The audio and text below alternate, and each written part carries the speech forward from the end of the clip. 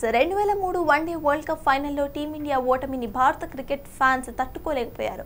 ఆ బాధ నుంచి బయటపడక ముందే రెండు వేల ఏడు వరల్డ్ కప్లో బంగ్లాదేశ్ చేతుల్లో ఘోర పరాభవాన్ని చవిచూస్తుంది టీమిండియా. ఈ రెండు అపజయాల తర్వాత రెండు వేల పదకొండు వన్డే వరల్డ్ కప్లో టీమిండియా వంద కోట్ల మంది భారతీయుల కలను నిజం చేస్తుంది. రెండు వేల పదకొండు వన్డే వరల్డ్ కప్ టోర్నీలో పెద్దగా అంచనాలు లేకుండా బరిలోకి దిగిన మహేంద్ర సింగ్ ధోని టీం వరుస విజయాలతో ఫైనల్కి దూసుకొచ్చింది. అయితే ఫైనల్ మ్యాచ్కి ముందు డ్రెస్ డ్రెస్సింగ్ రూమ్లో ఎలాంటి పరిస్థితి ఉంది? ఈ షాకింగ్ విషయాన్ని తాజాగా బయటపెట్టాడు team India mental conditioning coach Paddy Upton.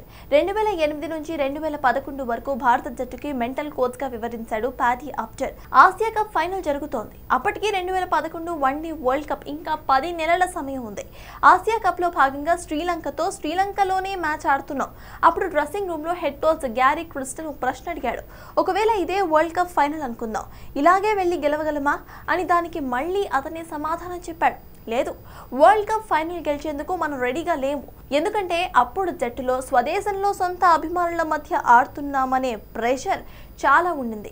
వాంఖడేలో జరిగిన ఫైనల్లో అది క్లియర్గా కనిపించింది.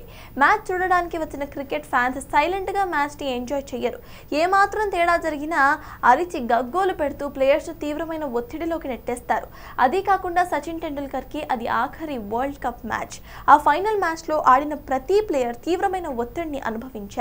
అలాంటి హై ప్రెషర్ మ్యాచ్ల కోసం ప్లేయర్లు ముందుగానే మానసికంగా సిద్ధం కావాలి. ఆ రోజు నుంచి ప్రతి మీటింగ్లోనూ ఇదే మాటతో డిస్కషన్ మొదలెట్టాం. ముంబైలో జరిగే వరల్డ్ కప్ ఫైనల్ మ్యాచ్ అంటూ మీటింగ్ మొదలయ్యేది. దీంతో ఫైనల్ మ్యాచ్కి వచ్చేసరికి ప్లేయర్లు ఆ పరిస్థితులకు అలవాటు పడ్డారు. ఆటగాళ్ళను ఫైనల్ మ్యాచ్ ఆడేందుకు పది నెలల నుంచే మెంటల్గా ప్రిపేర్ చేయడం మొదలుపెట్టాం. ఫైనల్కి వచ్చినప్పుడే మేము గెలవబోతున్నామని నమ్మకం ప్లేయర్స్లో నిండిపోయింది. అంటూ చెప్పుకొచ్చాడు భారత mental conditioning coach Paddy Upton